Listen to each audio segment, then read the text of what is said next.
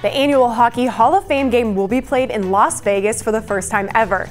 I'm Elaina Lanson with your CU Mortgage Direct Midco Minute. The matchup on October 27th will feature the North Dakota Fighting Hawks and the Minnesota Golden Gophers.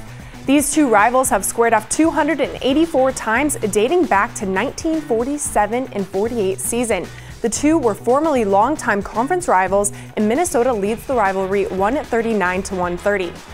Together, the two teams own 13 NCAA Division I men's hockey championships, 8 by UND and 5 from the Golden Gophers.